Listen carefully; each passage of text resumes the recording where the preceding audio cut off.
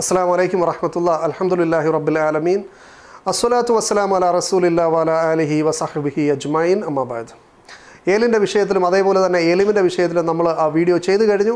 അതിന്റെ പ്രൂഫുകൾ കൊണ്ട് വളരെ വ്യക്തമായിക്കൊണ്ട് സബാസ്റ്റിന്റെ വാദഗതികൾ സെബാസ്റ്റ്യൻ എനിക്ക് നടത്തിയ ഗണന മുഴുവൻ വായുവിൽ നിന്നിട്ടായിരുന്നു അദ്ദേഹത്തിന്റെ യാതൊരു പ്രമാണത്തിന്റെ അടിസ്ഥാനത്തിലല്ല ക്രൈസ്തവർ പോലും ഉപയോഗിക്കുന്ന ഒരൊറ്റ പ്രാമാണികമായിട്ടുള്ള ഡിക്ഷണറിയോ കമൻട്രികളോ ട്രാൻസ്ലേഷനോ ഉപയോഗിച്ചുകൊണ്ട് അദ്ദേഹത്തിന് ഖണ്ഡിക്കാൻ സാധിച്ചിട്ടില്ല. അത് മുഴുവൻ ഞാൻ പറഞ്ഞ അർത്ഥത്തിലാണ് ഉള്ളത് എന്നും വളരെ സ്പഷ്ടമായി തെളിഞ്ഞിട്ടുണ്ട്. ഇനിയും അടുത്തതായി ചില ചെറിയ ചെറിയ വിഷയങ്ങളിലേക്ക് കിടക്കുകയാണ്. അദ്ദേഹം ബൈബിൾ പരിഭാഷയിൽ മലയാള പരിഭാഷകർ വലിയൊരു അബദ്ധം കാണിച്ചു എന്ന് പറഞ്ഞിട്ട് അദ്ദേഹം ഒരു കോട്ടിങ് കാണിക്കുന്നുണ്ട്. അതൊന്നും നമുക്ക് കണ്ടു നോക്കാം. യോശുവ ഇരുപത്തിരണ്ടാം അധ്യായം ഇരുപത്തിരണ്ടാം വാക്യത്തിൽ നമ്മളൊരു വാക്യം കാണാം. സർവവല്ലഭനാകുന്ന ദൈവമായ ഹോവ സർവവല്ലഭനാകുന്ന ദൈവമായ ഹോവ തന്നെ അറിയുന്നു. ഇതിന്റെ ഹീബ്രു എടുത്താൽ ഈ സർവവല്ലഭൻ എന്ന് പറയുന്ന ഒരു ടേം അവിടെ ഇല്ല. ഇതിന്റെ ഹീബ്രുവിൽ ഏൽ എലോഹീം യാഹ്വെ എന്ന്. ഏൽ എലോഹീം യാഹ്വെ. ഞാനവിടെ താഴെ എഴുതിയിട്ടുണ്ട് നിങ്ങൾക്ക് കാണാം. ഏൽ എലോഹീം യാഹ്വെ എന്നാണ് ഇതിന്റെ ഹീബ്രു എടുത്തു കഴിഞ്ഞാൽ നമുക്ക് കാണാൻ സാധിക്കുന്നത്. ഈ ഏൽ എലോഹീം യാഹ്വെ എന്നൊരു ഫ്രേസ് ആണ് സർവവല്ലഭനായ യഹോവ എന്ന് തർജമ ചെയ്തിരിക്കുന്നത്. എന്തുകൊണ്ടാണ് അങ്ങനെ തർജമ ചെയ്തതെന്ന് വെച്ചാൽ ഞാൻ മുകളിൽ കാണിച്ചു. യലോഹെ ദൈവം എന്നാ ട്രാൻസ്ലേറ്റ് ചെയ്യുന്നത് എലോഹീം ദൈവം എന്നാ ട്രാൻസ്ലേറ്റ് ചെയ്യുന്നത് ഏൽ ദൈവം എന്നാ ട്രാൻസ്ലേറ്റ് ചെയ്യുന്നത് അപ്പൊ ഏൽ എലോഹീം യാഹു എന്ന് പറഞ്ഞാൽ മലയാളം ട്രാൻസ്ലേറ്റേഴ്സ് ട്രാൻസ്ലേറ്റ് ചെയ്യുമ്പോൾ എന്തെന്ന് ട്രാൻസ്ലേറ്റ് ചെയ്യണം? ദൈവം ദൈവം യാഹുവെ. അല്ലെ ദൈവമായ ദൈവമായ യാഹുവെ എന്ന് ട്രാൻസ്ലേറ്റ് ചെയ്യേണ്ടി വരും.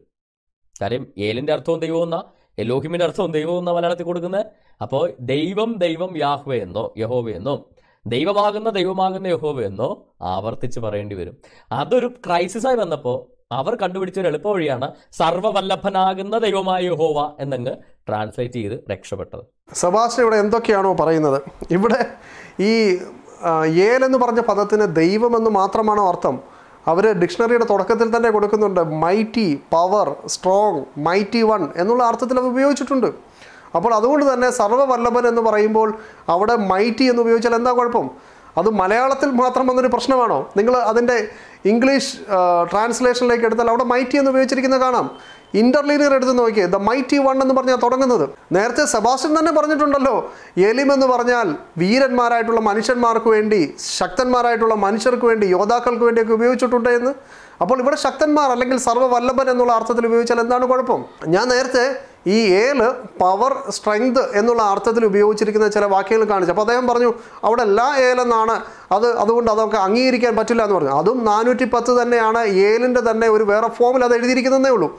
ഇനി അത് താങ്കളുടെ ഭാഗത്തിന് ഞാനങ്ങ് വിട്ടു കാരണം അതിനെക്കാട്ടി നല്ല വാക്യമുള്ളപ്പോൾ ഞാൻ പിന്നെ അതിന്റെ മേളിൽ കിടന്ന് കുരുങ്ങേണ്ട കാര്യമില്ല. ഇവിടെ മൈറ്റി എന്ന് തന്നെ ഏലിന് അർത്ഥമുണ്ടല്ലോ. അപ്പോൾ അതുകൊണ്ട് മലയാള പരിഭാഷകർക്ക് ഉത്തരം മുട്ടിയിട്ട് അദ്ദേഹം എഴുതിയതാണ് എന്ന് താങ്കൾ ഇങ്ങനെ അർത്ഥം കൊടുത്തത് വളരെ മോശമായി പോയി. കാരണം താങ്കൾ ആദ്യം മനസ്സിലാക്കേണ്ടത് ഈ ബൈബിൾ വായിച്ചതിന് ശേഷമാണ് ബൈബിളിന്റെ അടിസ്ഥാനത്തിലാണ് ഇവർ കമൻട്രി ഉണ്ടാക്കുന്നത്. അപ്പോൾ അവർക്ക് ഉത്തരം മുട്ടില്ല. കാരണം ഇതിനെല്ലാം പരിഹാരമായിട്ടാണ് അവർ കമൻട്രി ഉണ്ടാക്കിയിരിക്കുന്നത്. മനസ്സിലായില്ലേ? അവർ അതിന്റെ അടിസ്ഥാനത്തിലാണ് അവർ ലെക്സിക്കൺ ഉണ്ടാക്കിയിരിക്കുന്നത്.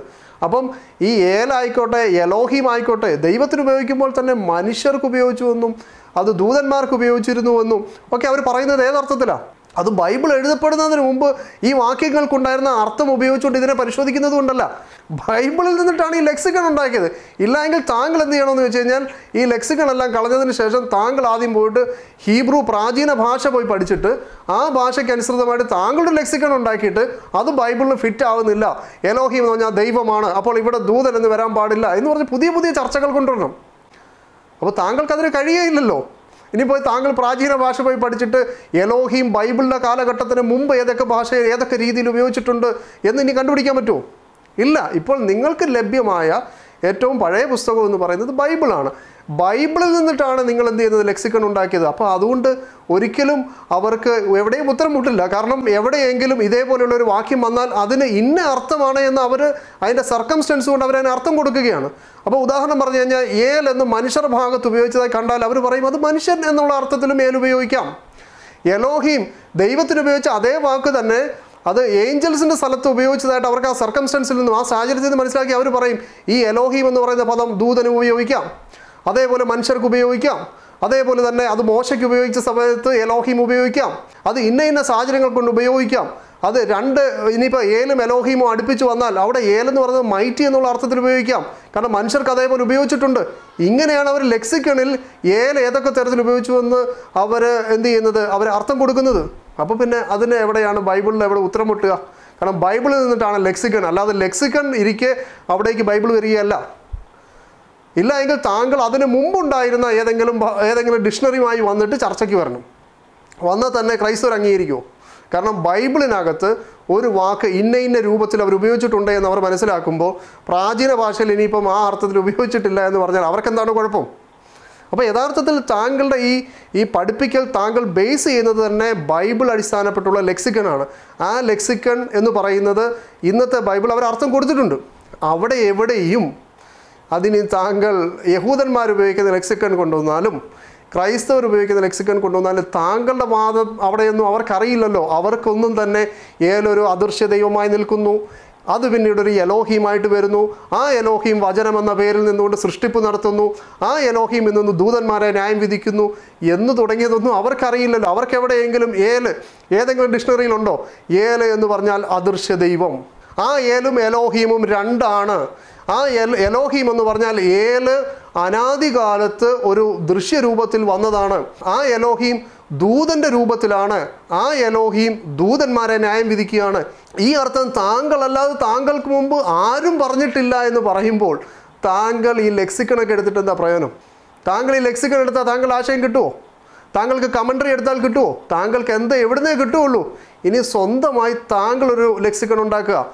താങ്കൾ ബൈബിൾ പരിഭാഷ എഴുതുക. താങ്കൾ അത് ട്രാൻസ്ലേഷൻ നടത്തുക. അപ്പോൾ താങ്കളുടെ ഈ ആശയം കിട്ടും.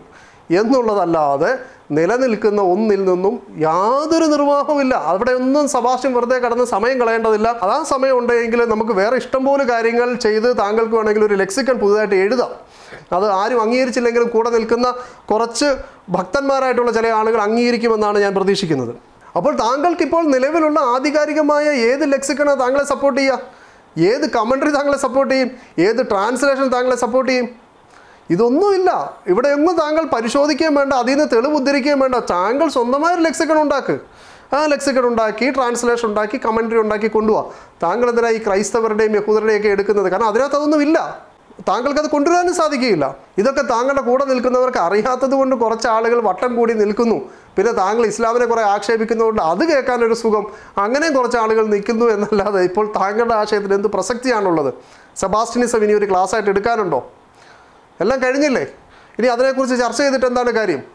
ഇനിയും അദ്ദേഹത്തിന്റെ അത് അടുത്തൊരു ക്ലാസ് അദ്ദേഹം സെപ്റ്റുജന്റ് വെച്ചുകൊണ്ട് അദ്ദേഹം ഒരു ഒരു ഒരു ക്ലാസ് തരുന്നുണ്ട്. അതൊന്ന് കേൾക്കാം. ഏൽ എന്നത് മൈറ്റി എന്ന അർത്ഥത്തിൽ ഉപയോഗിച്ചിട്ടുണ്ടോ?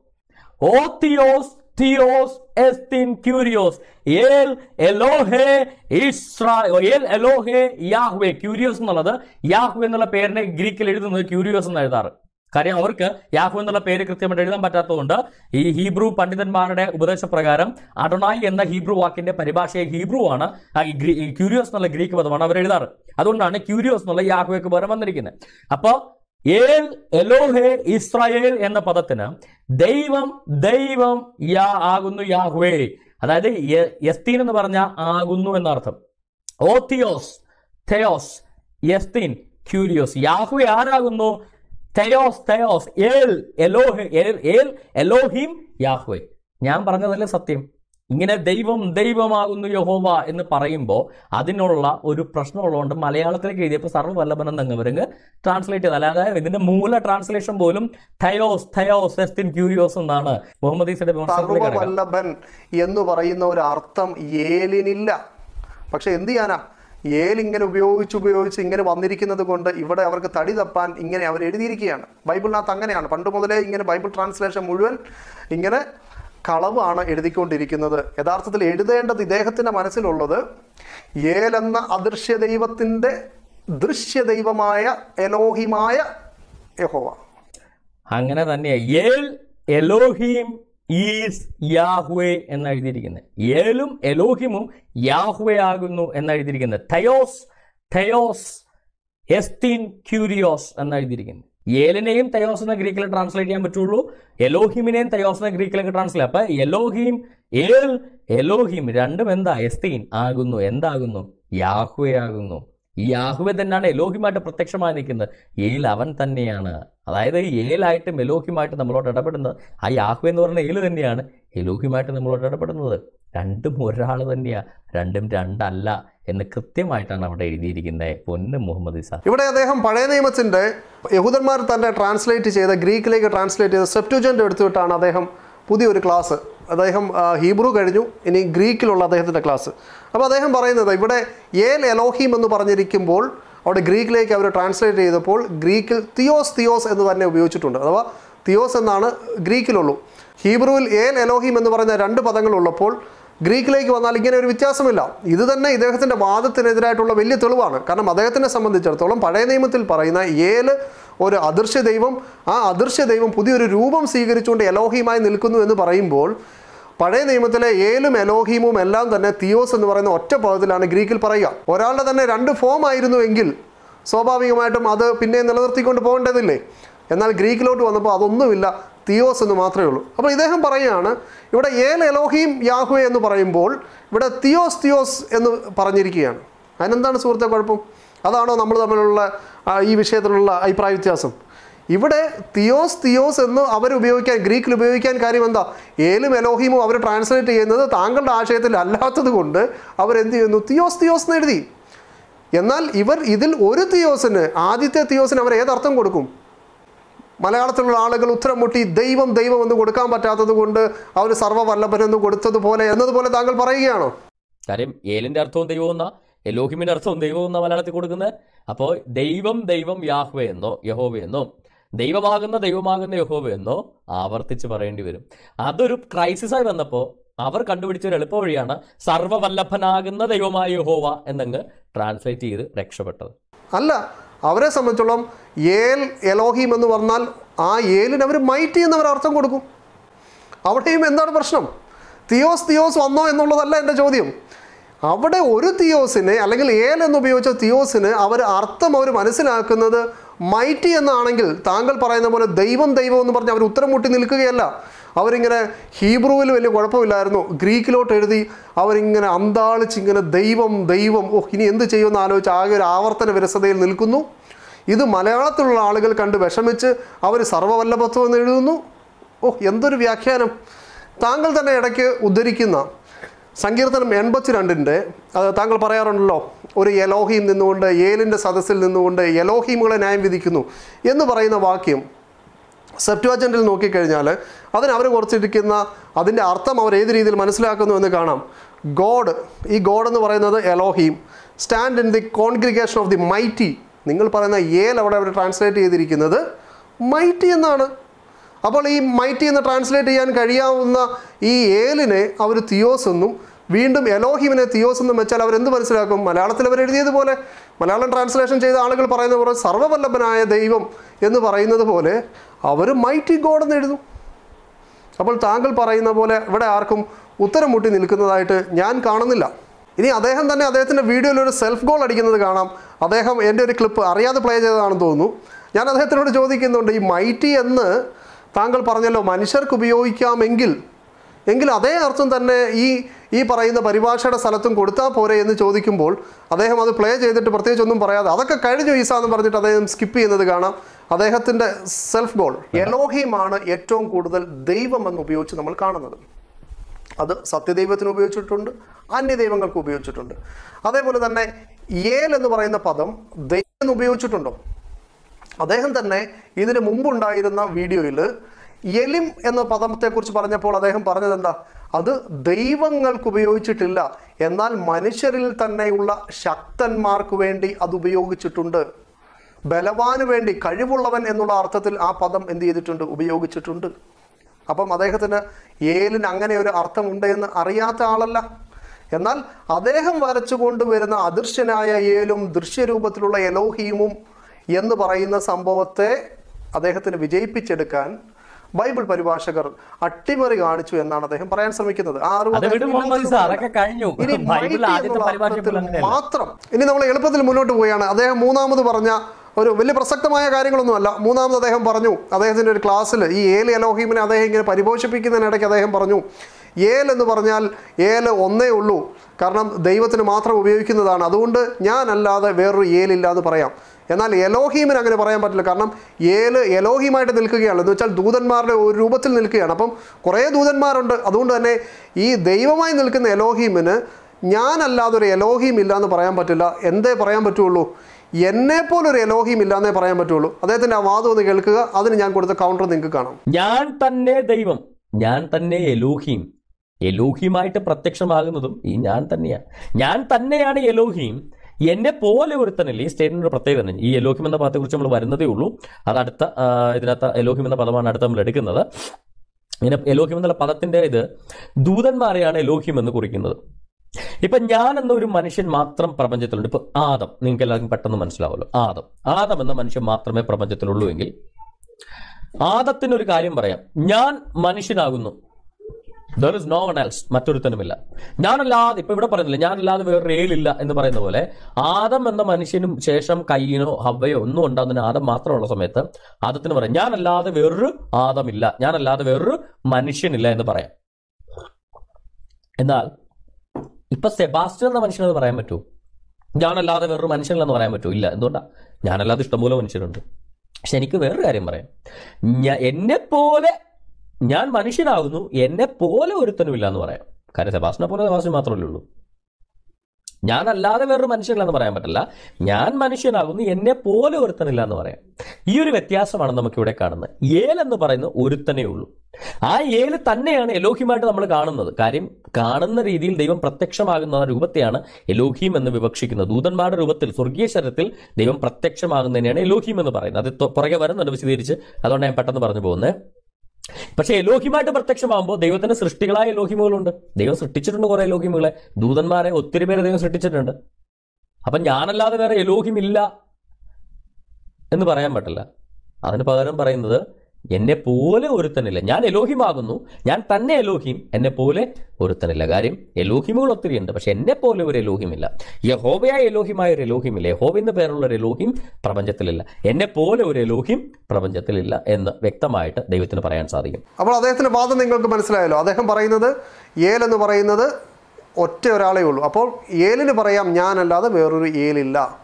എന്നാൽ എലോഹീം എന്ന് പറയുന്നത് ഏൽ ദൂതരൂപത്തിൽ നിൽക്കുന്നതാണ്. അപ്പോൾ ദൂതന്മാർ ഒത്തിരി ഉള്ളതുകൊണ്ട് ഈ ദൂതരൂപത്തിൽ നിൽക്കുന്ന എലോഹീം എന്ന എന്ന ദൈവദൂതനായിട്ടുള്ള ആ രൂപമുണ്ടല്ലോ ദൈവം ദൂതനായിട്ട് നിൽക്കുന്ന ആ രൂപം. അതിന് ഞാനല്ലാതെ എലോഹീം ഇല്ല എന്ന് പറയാൻ പറ്റില്ല. കാരണം എലോഹീം എന്ന പദത്തിന്റെ അർത്ഥം ദൂതന്മാരാണ്. അപ്പം ഇദ്ദേഹത്തിന്റെ സബാസ്റ്റിനിസം ഇവിടെ ഇദ്ദേഹം സ്ഥാപിച്ചുകൊണ്ട് ഈ വാക്യത്തിനിടയിലൂടെ അദ്ദേഹം സബാസ്റ്റിനിസം കണ്ടെത്തുകയാണ്. എന്നാൽ ഞാൻ പറഞ്ഞു കോട്ടിങ്ങുകൾ കൊടുത്തു യഷയ നാൽപ്പത്തിനാലിന്റെ ആറിൽ അവിടെ കാണാം ഞാനല്ലാതെ യലോഹീമില്ല അപ്പോൾ ഇങ്ങനെ പറയാൻ പാടുണ്ടോ? ഇദ്ദേഹത്തിന്റെ കാഴ്ചപ്പാടിൽ പറയാൻ പാടില്ല. കാരണം എന്താ? അപ്പോൾ ബാക്കി യലോഹീമുകൾ എന്ത് ചെയ്യും? അപ്പോൾ ഇദ്ദേഹം എന്തിന് ഇത് ന്യായീകരിക്കുമെന്ന് നോക്കിയിട്ട് ഇദ്ദേഹം പറഞ്ഞു അതിന്റെ മുൻവാക്യം ഇങ്ങനെയാണുള്ളത് ഞാൻ ആദ്യനും അന്തിനുമാകുന്നു അങ്ങനെയുള്ള യലോഹീമാണ് പറഞ്ഞത് എന്ന് പറഞ്ഞിട്ട് എന്നെ പോലെ മറ്റൊരുത്തനില്ല എന്നുള്ള അർത്ഥത്തിലേക്ക് കൊണ്ടുവന്നു. എങ്കിൽ അതിനെക്കാട്ടിൽ എത്രയോ സൂപ്പർ വാക്യം എടുത്തിട്ടാണ് താങ്കൾ പഠിപ്പിക്കാൻ ഉപയോഗിച്ചത്. അവിടെ ഉള്ളത് എന്താ? ഞാനല്ലാതെ വേറൊരു ഏൽ ഇല്ല. ഞാൻ തന്നെ എലോഹീം. അപ്പോൾ ഈ എലോഹീം ആരാ? ഇവിടെ ആദ്യനും അന്ത്യനും എന്ന വിശേഷമാണ് ഉള്ളതെങ്കിൽ അതിനെ ആ സവിശേഷതകളല്ല പറഞ്ഞിരിക്കുന്നത്. ഞാൻ ഏലെന്ന് പറയുന്ന എലോഹീമാണ് ഇവിടെ നിൽക്കുന്നത്. അങ്ങനെയാണെങ്കിൽ ഈ എലോഹീമിന് ഇവിടെ പറഞ്ഞതുപോലെ തന്നെ ഞാനല്ലാതെ ഒരു എലോഹീം ഇല്ല എന്ന് പറഞ്ഞാൽ എന്താ കുഴപ്പം? എന്താ കുഴപ്പം? അപ്പോൾ താങ്കൾ പറഞ്ഞു അങ്ങനെ ഉപയോഗിക്കാൻ പറ്റില്ല. എന്നെ പോലെ ഒരുത്തനില്ല എന്നേ പറയാൻ പറ്റുള്ളൂ. കാരണം താങ്കളൊരു ഉദാഹരണമൊക്കെ പറഞ്ഞു. കാരണം ആദം ഒറ്റയ്ക്ക് നിൽക്കുന്ന സമയത്തിന് പറയാം ആദമിന് പറയാം ഞാനല്ലാതെ മനുഷ്യനില്ല. എന്നാൽ ഇന്ന് സബാസ്റ്റിന് പറയാൻ പറ്റത്തില്ല. കാരണം ഞാനല്ലാതെ വേറെ മനുഷ്യനില്ല എന്ന് സബാസ്റ്റിന് പറയാൻ പറ്റില്ല. കാരണം ഇഷ്ടം ഇഷ്ടംപോലെ മനുഷ്യന്മാരുണ്ട്. സബാസ്റ്റിന് എന്തേ പറയാൻ പറ്റുള്ളൂ? എന്നെ പോലെ സെബാസ്റ്റിനെ പോലെ ഒരാളില്ല എന്നേ പറയാൻ പറ്റുള്ളൂ. പക്ഷേ ഇവിടെ എലോഹീം ഇഷ്ടംപോലെ ദൂതന്മാരായിട്ടുള്ള എലോഹീം ഉള്ളപ്പോഴും ആ എലോഹീം പറയുന്നത് ഞാനല്ലാതെ എലോഹീം ഇല്ല കാരണം താങ്കൾ പറയുന്നത് പോലെ ദൂതരൂപത്തിൽ നിൽക്കുന്നത് കൊണ്ടല്ല ആ പറഞ്ഞത്. നേരെ മറിച്ച് എലോഹീം എന്ന് ദൈവത്തിന് വേണ്ടിയാണ് കൂടുതൽ ഉപയോഗിച്ചിട്ടുള്ളത്. അതുകൊണ്ട് ഞാനല്ലാതെ എലോഹീം ഇല്ല എന്ന് വെച്ചാൽ ഞാനല്ലാതെ ദൈവമില്ല എന്നർത്ഥം. ഇനിയും എലോഹിം എന്ന് ചില സ്ഥലത്ത് ദൂതന്മാർക്ക് ഉപയോഗിച്ചിട്ടുണ്ട് ചില സമയത്ത് വ്യാജ ദൈവങ്ങൾക്ക് ഉപയോഗിച്ചിട്ടുണ്ട്. ചില സമയത്ത് യേശു ക്രിസ്തു നേരത്തെ ഉദ്ധരിച്ചതുപോലെ യു ആർ ഗോഡ്സ് എന്ന് പറയുന്ന രീതിയിൽ മനുഷ്യന്മാർക്ക് വേണ്ടി ഉപയോഗിച്ചിട്ടുണ്ട്. അപ്പോൾ ഞാനല്ലാതെ എലോഹിം ഇല്ല എന്ന് പറഞ്ഞാൽ അവിടെ ഈ എലോഹിമുകളെല്ലാം വ്യത്യസ്ത അർത്ഥത്തിൽ ഉപയോഗിച്ച എലോഹിമുകളെല്ലാം കൂട്ടിക്കൊണ്ട് വരേണ്ടതില്ല അവിടെ ഞാനല്ലാതെ എലോഹിം ഇല്ല എന്ന് പറഞ്ഞാൽ വെരി സിമ്പിൾ അവിടെ ഉദ്ദേശിച്ച ആ എലോഹിം എന്ന് പറഞ്ഞ പദം സത്യദൈവത്തിന് മാത്രമാണ്. ആ ദൈവത്തിന് പറയാം ഞാനല്ലാതെ വേറെ ഒരു ദൈവം ഇല്ല എന്ന്. ഇങ്ങനെ മനസ്സിലാക്കാമല്ലോ താങ്കളുടെ സബാസ്റ്റിനിസ് അവിടേക്ക് കുത്തിക്കയറ്റി ആ വാക്യത്തെ കുളമാക്കേണ്ടതുണ്ടോ? അതേപോലെ രണ്ട് വാക്യങ്ങൾ കൂടി ഞാൻ തന്നു. ഒന്ന് ആവർത്തന പുസ്തകം അഞ്ചിന്റെ ഏഴ് ഞാനല്ലാതെ അന്യ ദൈവങ്ങൾ നിനക്കുണ്ടാകരുത് എന്ന് പറയുന്നത് എലോഹീമാണ് ഞാനല്ലാതെ അന്യ എലോഹീം ഉണ്ടാവരുത്. അതുകൊണ്ട് താങ്കൾ എന്തായാലും അർത്ഥം കൊടുക്കുന്നത്? അവിടെ അതർ ഗോഡ്സ് ഞാൻ നേരത്തെ പറഞ്ഞിട്ടുണ്ട് അത്ര അതർ ഗോഡ്സ് താങ്കൾ പറഞ്ഞത് എന്താ? എലോഹീം എന്ന് പറഞ്ഞാൽ ദൂതനാണെന്നല്ലേ താങ്കൾ പറഞ്ഞത്? അപ്പോൾ ഞാനല്ലാതെ അന്യ എലോഹീം എന്ന് വെച്ചാൽ താങ്കൾ പറയുന്ന അർത്ഥത്തിലാണെങ്കിൽ ഞാനല്ലാതെ അതർ ഏഞ്ചൽസ് ഉണ്ടാവരുത് എന്നാവണ്ടേ അർത്ഥം? അങ്ങനെ അർത്ഥമുണ്ടോ? അങ്ങനെ അർത്ഥമുണ്ടെങ്കിൽ പറയാൻ പറ്റുമോ? ഇവിടെ ഈ പറഞ്ഞ ഈ എലോഹീം എന്ന് പറയുന്നത് ദൂതരൂപത്തിൽ നിൽക്കുന്ന ദൂതനാ എന്നുള്ള അർത്ഥമാണെങ്കിൽ ഞാനല്ലാതെ അതർ ഏഞ്ചൽസ് ഉണ്ടാവില്ല എന്ന് പറയാൻ പറ്റുമോ? ഒറ്റ ഏഞ്ചലേ ഉണ്ടായിരുന്നുള്ളൂ. ആണോ? അല്ലല്ലോ. താങ്കളപ്പോൾ എന്താ വ്യാജ ദൈവങ്ങളിലേക്ക് പോവുക താങ്കളുടെ വാദം എന്താ? താങ്കളുടെ വാദം താങ്കളൊക്കെ മറന്നു പോകരുത്. ഞാനവിടെ ഓർത്തിരിക്കുകയല്ലേ. താങ്കൾ അങ്ങനെ മറക്കരുത്. താങ്കൾ പറഞ്ഞത് യലോഹീം എന്ന് പറഞ്ഞാൽ അത് ദൂതരൂപമാണ്. ദൂതന്മാരുടെ രൂപത്തിൽ സ്വർഗീയ ശരീരത്തിൽ ദൈവം പ്രത്യക്ഷമാകുന്നതിനെയാണ് യലോഹീം എന്ന് പറയുന്നത്. അത് പുറകെ വരുന്നുണ്ട് വിശദീകരിച്ച്. അതുകൊണ്ട് ഞാൻ പെട്ടെന്ന് പറഞ്ഞു പോകുന്നത്. പക്ഷെ എലോഹിമായിട്ട് പ്രത്യക്ഷമാകുമ്പോൾ ദൈവത്തിന്റെ സൃഷ്ടികളായ എലോഹിമുകളുണ്ട്. ദൈവം സൃഷ്ടിച്ചിട്ടുണ്ട് കുറെ എലോഹിമുകളെ. ദൂതന്മാരെ ഒത്തിരി പേരെ ദൈവം സൃഷ്ടിച്ചിട്ടുണ്ട്. അപ്പൊ ഞാനല്ലാതെ വേറെ എലോഹിമില്ല എന്ന് പറയാൻ പറ്റില്ല അതിന് പകരം പറയുന്നത് എന്നെ പോലെ ഒരുത്തനില്ല. ഞാൻ എലോഹിമാകുന്നു. ഞാൻ തന്നെ എലോഹിം. എന്നെ പോലെ ഒരുത്തനില്ല. കാര്യം എലോഹിമുകൾ ഒത്തിരി ഉണ്ട്. പക്ഷെ എന്നെ പോലെ ഒരു എലോഹിമില്ല. അപ്പോൾ ഞാനല്ലാതെ അതർ എലോഹീം അതർ ഏഞ്ചൽസ് ഉണ്ടാവരുത് ഇല്ലേ? ആകെ ഒരു ഏഞ്ചലേ ഉള്ളോ? ഈ ഏൽ യലോഹിയും ദൂതവേഷം കെട്ടിയത് മാത്രമേ ഉള്ളൂ? അപ്പോൾ പിന്നെ ഈ ഗബ്രിയേലും മിക്കായേലും ഒക്കെ റാഫേലും ഒക്കെ നമുക്ക് എവിടെ കൊണ്ട് വെക്കാൻ പറ്റും? സെയിം വാക്യം തന്നെ.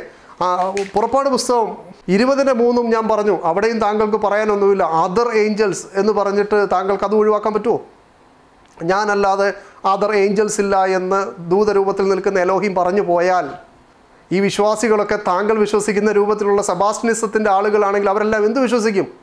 ഓ ആകെ ഒരു ഏഞ്ചലേ ഉള്ളൂ. ആ ഏഞ്ചൽ എന്ന് പറഞ്ഞാൽ ദൈവം ഏഞ്ചലായി നിൽക്കുന്നതാണ്. ഇങ്ങനെയൊക്കെ ഒരു അർത്ഥമുണ്ടോ എന്റെ പൊന്നു സബാസ്റ്റ്യ? ഇവിടെ ഉള്ള അർത്ഥം എന്ന് പറയുന്നത് ഞാനല്ലാതെ അന്യ ദൈവങ്ങൾ നിനക്കുണ്ടാകും അവിടെ ദൂതനെക്കുറിച്ച് ഒരു പരാമർശമേ ഇല്ല. അവിടെയുള്ള പരാമർശം എന്ന് പറയുന്നത് അതർ ഗോഡ്സ് അവർ വിജാതിയർ വിളിച്ചു പ്രാർത്ഥിക്കുന്ന ദൈവങ്ങൾ. അവയെ നിങ്ങൾ ആരാധിക്കരുത് അവയെ ഉണ്ടാക്കരുത്. നേരെ മറിച്ച് ഞാൻ മാത്രമേ എലോഹിയുമായിട്ടുള്ളൂ എന്ന് പറഞ്ഞാൽ ദൂതരൂപത്തിൽ നിൽക്കുന്ന ദൈവമെന്നല്ല. അവിടെ ഒറ്റ അർത്ഥമേ ഉള്ളൂ ഞാനല്ലാതെ വേറെ ദൈവമില്ല. അതുകൊണ്ട് ഈ സബാസ്റ്റിനിസം ഇതിനകത്തോട്ട് ഇറക്കി മൊത്തത്തിൽ ആളുകൾക്കാകെ കൺഫ്യൂഷൻ ഉണ്ടാക്കി താങ്കൾ ഈ ലൈവ് ഇടുന്ന പരിപാടി നിർത്തണമെന്നാണ് സ്നേഹബുദ്ധിയ ഉണർത്താനുള്ളത്. ഇനി ഏറ്റവും അവസാനം വേറൊരു വിഷയത്തിലൂടെ നമുക്ക് കിടക്കാം. യഥാർത്ഥത്തിൽ അദ്ദേഹത്തിന്റെ ഏലും പോയി എലോഹിമും പോയി ഏൽ എലോഹിമിന്റെ സദസ്സിൽ നിൽക്കുന്നതും പോയി ഏലിം എന്നതും പോയി എല്ലാം പോയി. ഇനി ഇതൊന്നും പറയേണ്ടതില്ല. എങ്കിൽ പോലും അദ്ദേഹം പറഞ്ഞത് എന്താണ് എന്നുള്ളത് നിങ്ങളൊന്ന് കേൾക്കാൻ വേണ്ടി മാത്രം പറയുകയാണ്. ഇത് അക്കാഡമിക്കായിട്ടൊന്നുമില്ല. കാരണം അതിന്റെ ഈ സഭാശ്രസത്തിന്റെ സർവ സാധ്യതകളും അടഞ്ഞുപോയി എങ്കിലും എന്താണ് ഞാനും അദ്ദേഹം കൂടെ ഒരു ഒരു ഒരു വിഷയത്തിൽ പറഞ്ഞത് എന്താണെന്ന് ജസ്റ്റ് നിങ്ങളെ ഒന്ന് അറിയിക്കുകയാണ്. അദ്ദേഹത്തിന്റെ ഒരു ക്ലെയിമാണ് ഈ ഏൽ എലോഹീമിന്റെ രൂപത്തിൽ നിൽക്കുന്ന ഈ എലോഹീം ഇടയ്ക്കിടയ്ക്ക് മനുഷ്യരുടെ മുമ്പിൽ പ്രത്യക്ഷപ്പെടും. ഏൽ പ്രത്യക്ഷപ്പെടില്ല എലോഹിമാണ് പ്രത്യക്ഷപ്പെടുക. എന്നാൽ ഈ എലോഹിമിനോട് ചോദിച്ചാൽ എലോഹീം പറയും ഞാൻ ഏലാണെന്ന് പറയും. എന്നാൽ ഞാൻ അതിന് വ്യത്യാസമായിട്ട് ഞാൻ അദ്ദേഹത്തിനോട് പറഞ്ഞു ഉൽപ്പത്തി പുസ്തകം മുപ്പത്തി ഒന്നിന്റെ പതിനൊന്നിൽ അവിടെ എലോഹീം അല്ല വരുന്നത് മെസ്സഞ്ചർ ഓഫ് എലോഹീമാണ് വരുന്നത് എലോഹീമിന്റെ ഒരു മലക്കാണ് വരുന്നത്. ആ മലക്ക് വന്നിട്ട് പറഞ്ഞു ഞാൻ ഏലാകുന്നു. കാരണം ഒരു ദൂതൻ പ്രത്യക്ഷപ്പെട്ട് ദൈവത്തിന് വേണ്ടി സംസാരിക്കുമ്പോൾ നമ്മൾ മനസ്സിലാക്കുന്നത് ആ ദൂതൻ ദൈവമാണെന്നല്ല. നേരെ മറിച്ച് ആ ദൂതൻ ദൈവത്തിന്റെ വാക്കുകളാണ് നമ്മളോട് പറയുന്നത് എന്നാണ് നമ്മൾ മനസ്സിലാക്കേണ്ടത്. എന്നാൽ ഇദ്ദേഹം എന്ത് ചെയ്തു? ഈ എലോഹിമിനെ ദൃശ്യരൂപത്തിൽ ഏൽ പ്രത്യക്ഷപ്പെട്ട് നിൽക്കുന്നതാണ് എന്നുള്ള വാദമാണ് കൊണ്ടുവന്നത്. അപ്പോൾ ഇവിടെ നമ്മൾ ചോദിച്ചു ഇവിടെ വന്നത് എലോഹീം അല്ല. എലോഹീമിന്റെ മെസ്സഞ്ചർ മലക്ക് ഓഫ് എലോഹീം വന്നിട്ട് പറഞ്ഞു ഞാൻ ഏലാകുന്നു. ഞാൻ ഇങ്ങനെ പറഞ്ഞപ്പോൾ അദ്ദേഹം ഒരു മറുപടി പറയുന്നുണ്ട്. അത് നിങ്ങൾക്കൊന്ന് കേൾക്കാം. ഉൽപ്പത്തി പുസ്തകം മുപ്പത്തിയൊന്നാം അധ്യായത്തിൽ. ഓക്കെ അദ്ദേഹത്തിന് അജാത്ത ചോദ്യം ഉൽപ്പത്തി പുസ്തകം മുപ്പത്തിയൊന്നാം അധ്യായം. അവിടെ നിങ്ങൾക്ക് കാണാം. യാക്കോബിന്റെ അടുക്കൽ എലോഹിമിന്റെ ഒരു ദൂതൻ ചെന്നു. ആരാ ചെന്നത്? എലോഹിം അല്ല ചെന്നത്. മെസ്സഞ്ചർ ഓഫ് എലോഹിം മലക് ഓഫ് എലോഹിം ചെന്നു. എലോഹിമാണ് ചെന്നതെങ്കിൽ നമുക്ക് പറയാം ആ എലോഹിം എന്നത് ഏൽ എലോഹിമായിട്ട് നിൽക്കുന്നതാണെന്ന് പറയാം. എന്നാൽ ഇവിടെ എഴുതിയിരിക്കുന്നത് എലോഹിം ചെന്നു എന്നല്ല മലക് ഓഫ് എലോഹിം ചെന്നു. അപ്പൊ അയക്കാൻ പറ്റുന്ന എലോഹിം ഏതായിരിക്കണം? അവിടെ ഒരു യലോഹി മേലായിട്ട് നിൽക്കുന്നുണ്ടെങ്കിൽ ചോദ്യം ആ എലോഹിം ആയിരിക്കണം ഈ മെസ്സഞ്ചറെ വിടേണ്ടത് ഈ മലക്കിനെ വിടേണ്ടത് അല്ലേ? അപ്പോൾ സ്വാഭാവികമായിട്ട് മലക്ക് വന്നിട്ട് എന്തേ പറയാവൂ? എന്നെ എലോഹിം വിട്ടതാകുന്നു എന്ന് പറയാം. അല്ലേ? അല്ലെങ്കിൽ ഏൽ എലോഹിമായി നിൽക്കുന്ന ആൾ വിട്ട മലക്കാണ് ഞാനെന്ന് പറയാം. അല്ലാതെ ഈ മലക്കിന് പറയാൻ പറ്റുമോ? ഞാൻ ഏലാണെന്ന്? എലോഹിമിന്റെ ദൂതം പോയിട്ട് ഞാൻ ഏലാണ് എന്ന് പറഞ്ഞാൽ പുള്ളിയുടെ പ്രശ്നം ഇതാണ്. എലോഹിമിന്റെ ദൂതം വന്നിട്ട് പറഞ്ഞു ഞാൻ ഏലാകുന്നു എന്ന് പറഞ്ഞു. ഇതാണ് പുള്ളിയുടെ പ്രശ്നം. കഴിഞ്ഞില്ല? ഇദ്ദേഹം ഈ വാക്യം ഉപയോഗിക്കുന്നത് അവർക്കറിയാം. ഇതാ പുള്ളിയുടെ വാക്യം. അതായത് എലോഹിമിന്റെ ദൂതം വന്നിട്ട് പറഞ്ഞു ഞാൻ ഏലാണെന്ന് പറഞ്ഞു. ഇതാണ് പുള്ളിയുടെ പ്രശ്നം. അപ്പോൾ ഇദ്ദേഹം അതെടുത്ത് ബൈബിൾ എടുത്തൊന്ന് വായിച്ചു. വായിച്ചിട്ട് അദ്ദേഹം പറഞ്ഞു ഇവിടെ ആദ്യം ഒന്ന് സംസാരിക്കുന്ന എലോഹിം എന്ന് പറയുന്നത് ഈ മലക്കോ ഫെലോഹീം എന്ന് പറയുന്നത് അത് വളരെ വർഷങ്ങൾക്ക് മുമ്പ് ആറ് വർഷം ഏഴ് വർഷങ്ങൾക്ക് മുമ്പുള്ള സംഭവമാണ്. അപ്പോൾ രണ്ടാമത് വന്ന് പറയുന്നത് ഈ പറയപ്പെടുന്ന ഈ ആ, എലോഹീമിന്റെ ദൂതനല്ല. ഈ രണ്ട് കാര്യങ്ങൾ രണ്ട് സമയത്ത് നടന്ന കാര്യങ്ങളെ സമ്മറൈസ് ചെയ്ത് പറഞ്ഞപ്പോൾ ഈ രീതിയിൽ നിങ്ങൾക്ക് തോന്നിയതാണ്. അതുകൊണ്ട് കണ്ണ് തുറന്ന് വായിക്കാനൊക്കെ അദ്ദേഹം എന്നോട് ആവശ്യപ്പെടുന്നുണ്ട്. എന്നാൽ വാസ്തവത്തിൽ നിങ്ങൾ ഇതിന്റെ കമൻട്രി ജസ്റ്റ് ഒന്ന് വായിച്ചു നോക്കിയാൽ ഒന്ന് Barnes notes on the Bible ഇവിടെ കാണാം if at the end of the first year ആദ്യത്തെ വർഷം കഴിഞ്ഞപ്പോൾ ലാബാൻ കണ്ടു യാക്കോബിന് ആദ്യം ഒന്നുമില്ലായിരുന്നെങ്കിലും അവന് കാര്യമായിട്ട് ഇത്തവണ എന്ത് ചെയ്തിട്ടുണ്ട്? ആടുകളെ കിട്ടിയിട്ടുണ്ടെന്ന് കണ്ടു. അപ്പോൾ ഇദ്ദേഹം എന്ത് ചെയ്തു വെച്ച് കഴിഞ്ഞാൽ ഓരോ ആറ് മാസം കൂടുമ്പോഴും ഈ വേജസിൽ അഥവാ കൂലിക്ക് വ്യത്യാസം ഉണ്ടാക്കി എന്ന് വെച്ചാൽ ഈ കറുത്ത പുള്ളിയാണ് ഉണ്ടാകുന്നതെങ്കിൽ ഈ വർഷം നിനക്ക് എടുക്കാം എന്ന് പറയുമ്പോൾ ഇദ്ദേഹം നോക്കുമ്പോൾ യാക്കോബിന് കറുത്ത പുള്ളി ഉള്ളത് കിട്ടുന്നു. അപ്പോൾ അദ്ദേഹം പറയും കറുത്ത കറുത്ത പുള്ളി ഉള്ളത് ഞങ്ങൾക്കും കറുത്ത പുള്ളി ഇല്ലാത്തത് നിനക്കും എന്ന് തിരിച്ചു പറയും. ആ സമയത്ത് നേരെ തിരിച്ച് യാക്കോബിന് അനുകൂലമായിട്ടുണ്ടാവും. ഇങ്ങനെ ഇദ്ദേഹം ഈ പത്ത് തവണ ഈ വേജസിൽ കൂലിയിൽ മാറ്റം വരുത്തിയെങ്കിലും ദൈവം ഓരോ തവണയും എന്താണോ ലാബാൻ യാക്കോബിന് കൂലിയായിട്ട് നിശ്ചയിച്ചത് അതിനനുകൂലമായിട്ട് ദൈവം പ്രവർത്തിക്കുകയും അങ്ങനെ വെൽത്ത് സമ്പത്ത് മുഴുവൻ യാക്കോബിന് വരികയും ചെയ്തു. ഇവിടെ യാക്കോബിന്റെ അടുക്കൽ രണ്ട് സ്വപ്നങ്ങൾ ഇവിടെ ഒരുമിച്ച് പറയുകയാണ്. ഒന്നാമത്തെ സ്വപ്നം എന്ന് പറയുന്നത് ഈ ഇണ ചേരുന്ന സമയത്ത് ഒരു സ്വപ്നം. അത് മുമ്പ് പറഞ്ഞു. രണ്ടാമത്തെ സ്വപ്നം ഇതാണ് നമ്മുടെ വിഷയം. രണ്ടാമത്തെ സ്വപ്നം എന്താ? The second dream makes allusion സൂചന നൽകി the former as a process still going on up to the present time എന്ന് വെച്ചാൽ ഈ ഇണ ചേരുന്ന സമയത്ത് യാക്കോബിന് അനുകൂലമായി കൂലി കിട്ടുന്ന ഈ ഒരു സംവിധാനം ദൈവം എന്ത് ചെയ്യുന്നു? ആ പ്രസന്റ് ടൈം അഥവാ രണ്ടാമത് ദൂതൻ പ്രത്യക്ഷപ്പെടുന്ന സമയം വരെയും നിലനിർത്തി. This appears to be an encouragement to Jacob now to commit himself to the lord on his way home അതുകൊണ്ട് തന്നെ ഇത്രയും കാലം യാക്കോബിന് അനുകൂലമായി ദൈവം ഇങ്ങനെ ചെയ്തതുകൊണ്ട് യാക്കോബിനെ സംബന്ധിച്ചിടത്തോളം ദൈവത്തിനെ പരിപൂർണമായി കീഴ്പ്പെടാനും അനുസരിക്കാനും അതൊരു പ്രചോദനമായി തീർന്നു. ഇനി കേട്ടോണം. ശ്രദ്ധിച്ച് കേട്ടോണം. The angel of the lord we observe announces himself as the God of Bethel ആ വന്ന ഏഞ്ചൽ പറയുകയാണ് I am God of Bethel and recalls to Jacob the pillar and vow എന്നിട്ട് പറയുകയാണ് ആ ദൂതൻ വന്നിട്ടാണ് പറഞ്ഞത് ഞാൻ ഏലാകുന്നു. അത് എലോഹിം അല്ല വന്നത്. ആരാ വന്നത്? അവിടെ വന്നത് മലക്ക് ഓഫ് എലോഹിമാണ് പറഞ്ഞത് ഞാൻ ഏലാകുന്നു എന്ന് പറഞ്ഞത്. ഇവിടെ താങ്കൾ പറയുന്നത് പോലെ ആറ് വർഷത്തിന് മുമ്പ് ഒരു തവണ ദൂതൻ വന്നു പിന്നീട് രണ്ടാമത് വേറൊരു സമയം എന്ന് പറയുന്നത് പോലെയല്ല. ആറ് വർഷത്തിന് മുമ്പ് വന്നു അത് വേറെ കാര്യം. രണ്ടാമത് ഇവിടെ മലക്ക് വരുന്ന സമയത്തും ആ പ്രോസസ്സ് ഇപ്പോഴും ഓൺ ഗോയിങ് ആയിട്ട് നടക്കുകയാണ്. പ്രസന്റ് ടൈമിലും അത് നടക്കുകയാണ്. ഏത്? യാക്കോബിന് ആ വേതനം എടുക്കാവുന്ന രൂപത്തിൽ ആട്ടിൻകുട്ടികൾ നിശ്ചയിച്ച പ്രകാരം തന്നെ ജനിച്ചുകൊണ്ടിരിക്കുകയാണ്. അപ്പോൾ അവിടെ ഈ ഏഞ്ചിൽ വന്നിട്ട് പറയുകയാണ് ഐ ആം ഏൽ ഓഫ് ബത്തേൽ മനസ്സിലായോ? അല്ലാതെ താങ്കൾ പറയുന്നത് പോലെ ഇവിടെ രണ്ടാമത് ദൈവം മാത്രമാണ് പറഞ്ഞത്. അവിടെ ദൂതൻ വന്നിട്ടില്ല എന്നുള്ള വാദം ഇവർക്കാർക്കുമില്ല. The angel of the lord we observe announces himself as the God of Bethel and recalls to Jacob the pillar and vow. ഇവിടെ പിന്നെ ക്രൈസ്തവ ലോകത്തെ രണ്ടാമത്തെ ചർച്ച എന്ന് പറയുന്നത് ഈ പ്രത്യക്ഷപ്പെട്ട ഈ മലക്ക് വന്നിട്ട് ഞാൻ ഏലാണെന്ന് പറഞ്ഞപ്പോൾ ആ മലക്ക് യേശു ആണോ അല്ലയോ എന്നുള്ള ചർച്ചയാണ്. എന്ന് വെച്ചാൽ ഈ ദൂതനാണ് അവിടെ വന്നതെന്നും ദൂതനാണ് ഏലെന്ന് ക്ലെയിം ചെയ്തതെന്നും വളരെ വ്യക്തം. ആ ദൂതൻ ഏതാണ്?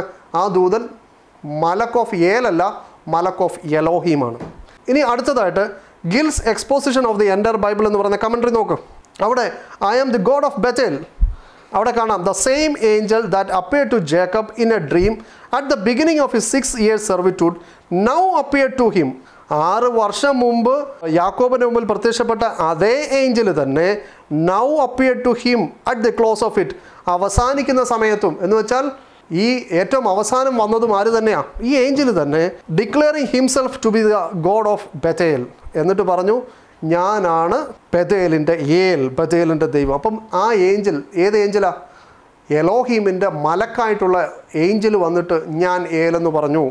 അതേപോലെ Ellicott's commentary for English readers. അതിനകത്ത് കാണാം I am the God of Bethel the angel of Elohim കണ്ടോ? ഇതാണ് മലക്ക് of Elohim was the speaker but the words were those of God എന്ന് വെച്ചാൽ സംസാരിക്കുന്നത് എലോഹിമിന്റെ മലക്കാണ്. എന്നാൽ സംസാരിക്കുന്നത് ദൈവത്തിന് വേണ്ടിയാണ്. അതേപോലെ തന്നെ Cambridge Bible for schools and colleges. അതിനകത്തും ഇതേപോലെ the God of Bethel. That is the God who appeared and to the at Bethel എന്ന് പറഞ്ഞിട്ട് ആ ഏഞ്ചൽ തന്നെയാണ് വീണ്ടും അപ്പിയർ ചെയ്തതെന്ന് പറയുന്നുണ്ട്. അതേപോലെ പുൾപിറ്റ് കമൻട്രിയിലും ഇതേപോലെ തന്നെ പറയുന്നുണ്ട്. അപ്പം ഇതാണ് ഈ വിഷയത്തിലുള്ള വസ്തുത.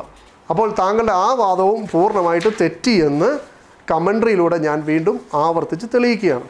അപ്പോൾ കാര്യങ്ങൾ ഇത്രയേ ഉള്ളൂ. സെബാസ്റ്റിനിസം വിചാരണ ചെയ്യപ്പെടുന്നു എന്ന് പറഞ്ഞ് ഞാൻ അവതരിപ്പിച്ച എല്ലാ പോയിന്റുകളും അതേപോലെ നിലനിൽക്കുന്നു. എന്ന് മാത്രമല്ല അത് ക്രൈസ്തവ പണ്ഡിത ഗ്രന്ഥങ്ങളോടും അവരുടെ ട്രാൻസ്ലേഷനോടും കമൻട്രികളോടും അവരുടെ ഡിക്ഷണറിയോടും യോജിച്ചു പോകുന്നു. എന്നാൽ സെബാസ്റ്റിനെ സംബന്ധിച്ചിടത്തോളം വളരെ എളുപ്പത്തിൽ ഞാൻ ഇറക്കിയതിന്റെ അന്ന് വൈകിട്ട് തന്നെ അദ്ദേഹം ലൈവ് ഇടാൻ വേണ്ടി ശ്രമിച്ച ആളാണ്. രണ്ട് ദിവസം കൂടെ ഗ്യാപ്പ് ഇട്ട് അദ്ദേഹം ഒരു ലൈവ് ഇട്ടു. ധൃതി പിടിക്കേണ്ടതില്ല സെബാസ്റ്റിനെ വായിച്ചിട്ട് പറഞ്ഞാൽ പോരെ. ഞാൻ വളരെ കൃത്യമായി താങ്കൾ പറയുന്ന കാര്യങ്ങൾ പരിശോധിച്ച് അതിന്റെ ഉചിതമായ തെളിവുകളുമായിട്ട് ഞാൻ മറുപടി പറയുമ്പോൾ താങ്കളെ സംബന്ധിച്ചിടത്തോളം താങ്കൾ വായിക്കുക താങ്കൾക്ക് തോന്നിയ ഒരു അർത്ഥം കൊടുക്കുക. അപ്പോൾ ചുരുക്കത്തിൽ താങ്കൾ ആ വീഡിയോയിൽ ആവർത്തിച്ച് പറഞ്ഞതുപോലെ മുഹമ്മദ് ഈസയുടെ ഓരോ ചോദ്യവും ചീറ്റിപ്പോയിരുന്നു എന്തോ ഒരു വാക്ക് താങ്കൾ ഉപയോഗിച്ചു. അത് ചീറ്റിയിട്ടില്ല. യഥാർത്ഥത്തിൽ സെബാസ്റ്റ്യന്റെ വിശദീകരണങ്ങൾ നൂറ് ശതമാനവും പരാജയപ്പെട്ടു പോയി എന്നാണ് സെബാസ്റ്റ്യൻ തിരിച്ചറിയേണ്ടത്. ഇത് വസ്തുതകൾ തെളിവ് സഹിതം നൽകിയിട്ടുണ്ട്. അതുകൊണ്ട് കാര്യങ്ങൾ ശരിയായ രീതിയിൽ പഠിക്കുക വൈകാരികമായിട്ട് വൈകാരികമായിട്ട് ഇതിനെയൊന്നും സമീപിക്കേണ്ടതില്ല. ഇത് വിത്ത് പ്രൂഫ് നമ്മൾ പരിശോധിക്കാവുന്നതാണ്. അതിന് സംവിധാനങ്ങളുണ്ട്. അത് സമാധാനമായി സാവധാനത്തിൽ പരിശോധിച്ച് ആ വിഷയത്തിൽ ഏറ്റവും ശരിയായത് സ്വീകരിക്കാൻ എന്നെ കേൾക്കുന്ന എല്ലാ ശ്രോതാക്കളോടും വളരെ സ്നേഹത്തോടുകൂടി താഴ്മയോടുകൂടി അഭ്യർത്ഥിച്ചുകൊണ്ട് നിർത്തുന്നു. വാഹൃദാന വൽഹമുല്ലാഹി റബുലാലമീൻ അസ്സാം വലൈക്കും വറഹമത്തുള്ള